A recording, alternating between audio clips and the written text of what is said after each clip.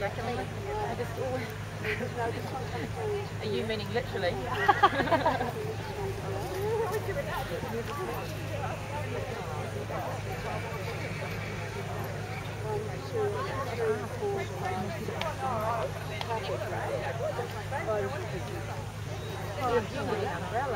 I need something.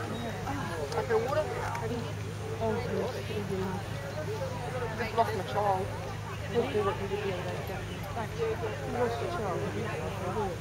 Do you really want it back? Just here, but Which one? Oh please, if anybody's kidnapped her, they'll send her back in a couple of days. They'll pay me to take it back. We're holding your child hostage and we'll give you $700 to take her back. No, this one here.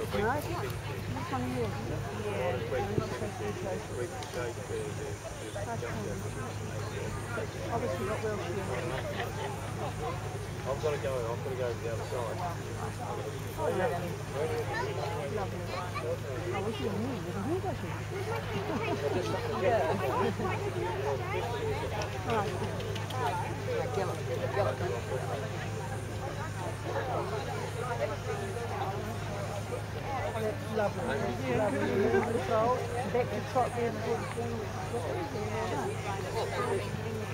a lovely garden, right?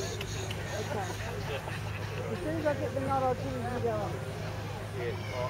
I've got to go that way. But I'll, I'll see when I get there. What number is this in there now? No, 269 Lance's Copper Come on, Pinchy. Never mind. It's not means and. 哎，你家怎么走了？